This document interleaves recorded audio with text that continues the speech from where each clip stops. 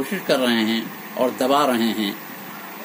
ये अपने देश के लोगों को बताना होगा कि देश सिर्फ़ ज़मीन का एक हिस्सा नहीं होता, बल्कि देश ज़मीन पर बसने वाले लोगों का होता है और उनकी अपनी ही सरकार होती है।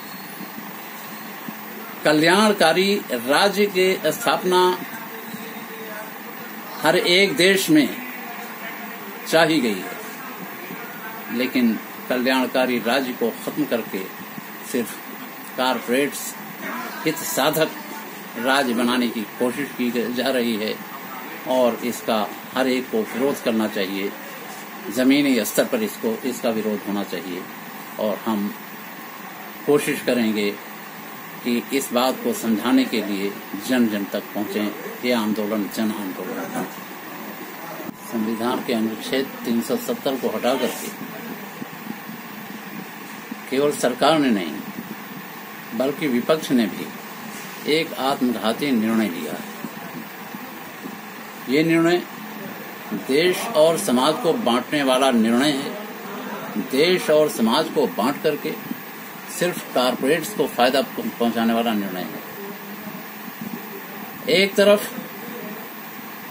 छोटे राज्यों को स्वायत्तता देने की बात की जा रही है 370 तो पहले का है संविधान का हिस्सा है लेकिन आर्टिकल तीन सौ इकहत्तर महाराष्ट्र गुजरात के लिए तीन सौ इकहत्तर ए नागालैंड के लिए तीन सौ इकहत्तर बी असम के लिए तीन सौ इकहत्तर सी मणिपुर के लिए तीन सौ इकहत्तर डी आंध्र प्रदेश और तेलंगाना के लिए तीन सौ इकहत्तर एफ़ सिक्किम के लिए तीन सौ इकहत्तर जी मिजोरम के लिए तीन सौ इकहत्तर एच अरुणाचल के लिए तीन सौ इकहत्तर आई गोवा के लिए और तीन सौ इकहत्तर जे कर्नाटक के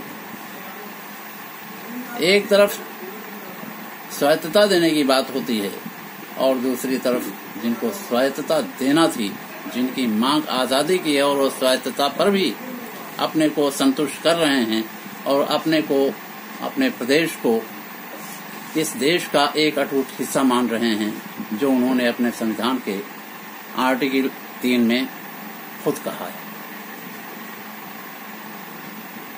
उसको माना है जम्मू और कश्मीर को। देश का, भारत का इंटीग्रल पार्ट तो जो इंटीग्रल पार्ट मान रहा है, भारत का अपने को, आप उसके साथ अन्याय कर रहे हैं और दूसरे छोटे राज्यों को स्वायत्तता दे रहे हैं। देश को बांटने के नाम पर आप समाज में समाज के विभिन्न वर्गों में और संप्रदायों के नाम पर आपस में वैमनस्यता फैला रहे हैं। एक दूसरे से लोगों को लड़ाने की कोशिश कर रहे हैं और लड़ा रहे हैं।